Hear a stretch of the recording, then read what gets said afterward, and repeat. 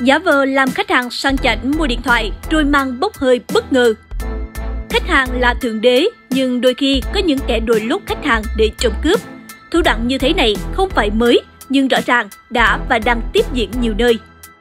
Mới đây lan truyền trên mạng xã hội video một vụ cướp điện thoại táo tợn xảy ra tại thành phố Hồ Chí Minh khi thủ phạm dùng chiêu vờ mua đồ ôm bỏ chạy.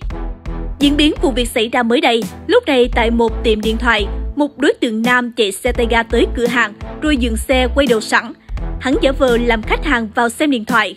Sau đó vội vã ôm điện thoại, lao xe nổ máy sẵn tẩu thoát. Mặc dù anh chủ cố gắng phi thân qua tụ đuổi theo nhưng không kịp.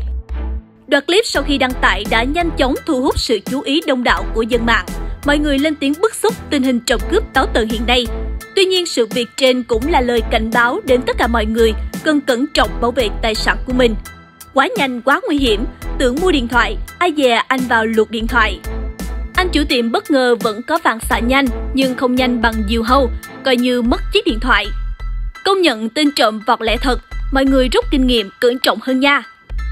Bạn nghĩ sao về sự việc này? Hãy để lại bình luận ngay bên dưới video và đừng quên đăng ký theo dõi kênh Sài Gòn TV để không bỏ lỡ những tin tức nóng hổi mới nhất xung quanh của chúng ta nhé.